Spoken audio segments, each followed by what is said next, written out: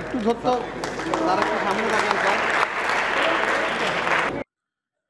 গ্রাম বাংলার ঐতিহ্যবাহী খেলা হলেও পৃষ্ঠপোষকতার অভাবে হারিয়ে যেতে বসেছে দেশের এই জাতীয় খেলাটি। তাই টুর্নামেন্ট আয়োজন করার জন্য কাবাডিকে বেছে নেওয়া হয়েছে। আঠারোই ফেব্রুয়ারি রোববার সকালে বিকেএসপি চট্টগ্রাম আঞ্চলিক প্রশিক্ষণ কেন্দ্রে Chittagong range DIG gold cup kabaddi টুর্নামেন্টের উদ্বোধন অনুষ্ঠানে এই কথা বলেন চট্টগ্রাম রেঞ্জের ডিআইজি নূরে আলম মিনা।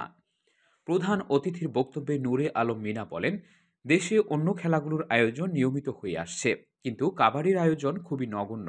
তাই বাংলাদেশ পুলিশ এই আয়োজন করেছে। এটি আমাদের জাতীয় খেলা। আমরা চাই এই খেলার চর্চা আরও বাড়ুক। পাশাপাশি ঐতিহ্য ফেরাতে কাবাডিতে প্রয়োজন পৃষ্ঠপোষকতা। এই আয়োজনে সব ধরনের সহযোগিতা করেছে বিকেএসপি। আর্থিক সহযোগিতা দিয়েছে কেএসআরএম। এ স্পন্সর প্রতিষ্ঠানের প্রতি কৃতজ্ঞতা জানাচ্ছি। কেএসআরএম এর পৃষ্ঠপোষকতায় আয়োজিত কাবাডি টুর্নামেন্টে অংশগ্রহণ করেছে চারটি গ্রুপে বারোটি দল।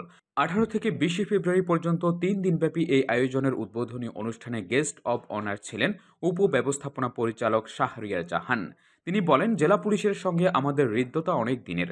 আমরা অপেক্ষায় থাকি পুলিশের সঙ্গে কাজ করার। এমন সুযোগ দেওয়ার জন্য পুলিশের প্রতি কৃতজ্ঞতা। উদ্বোধনী অনুষ্ঠানে সভাপতিত্ব করেন প্রবীর কুমার রায় কেএসআরএম এর গণমাধ্যম ও জনসংযোগ উপদেষ্টা মিজানুল ইসলাম, উপব্যবস্থাপক মনিরুজ্জামান রিয়াদ সহ জেলা পুলিশের ঊর্ধ্বতন কর্মকর্তারা।